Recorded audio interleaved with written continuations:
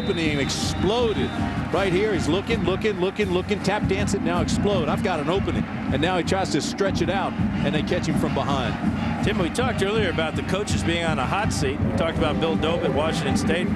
Does this win for UCLA take Karl Dorrell off that seat? Uh, I, I, think the Bruin fans are going to keep him on the hot seat, and I, I, don't know whether it's fair or it's not fair, but uh, I'm not a Bruin. But I mean, it's one of those situations where you see the blogs and you hear the talk shows, and they want to change.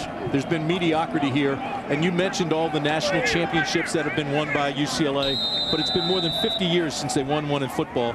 And I know when he was hired, the athletic director, Mr. Guerrero, says, hey, we want to raise the bar. We want to get above mediocrity. We want to challenge for national titles, and he hasn't done that. So I, I don't know if his job is safe or not safe, but I think he's going to stay on the hot seat. The Bruin fans won't let him off. Yeah, he beat the Bruins or the Trojans last year at the Rose Bowl. That'll be a heck of a battle next week at the L.A. Coliseum.